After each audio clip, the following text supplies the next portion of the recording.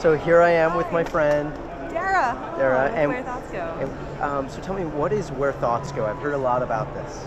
well, where thoughts go is this really beautiful, totally immersive experience. It's a social narrative, and it's completely user generated. That being said, we don't collect any user data, just recordings. So no user accounts made, and what we're asking is that people reflect on who they are and the world in which they're in, and the world in which we're all in. And here you have these five worlds that have five prompts. Yeah. And these five prompts are loosely tied to a lifetime. Mm-hmm. Different questions like, what was your childhood dream?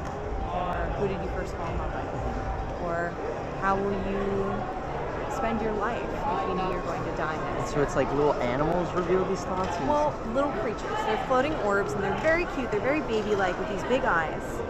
And they're very minimalist in design. All of the worlds are because ultimately we want them filled up with other people's ideas. That's the focus.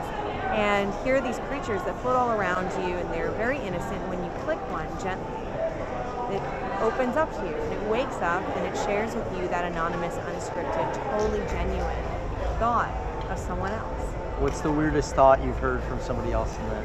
I don't think I've heard any weird thoughts, but I've heard a lot of really beautiful ones. Ones that are very funny, people talking a lot about dinosaurs and wanting to be dinosaur cowboys as children, and, and when they're reflecting back on what they wanted to do when they were five or six. But then I've heard really incredible and very deep ones when people are talking about loss and mourning and missing their loved ones, and you see this common thread of wanting to speak to people who've moved on and even speaking almost to the heavens, which is really beautiful. Um, so, or a ghost?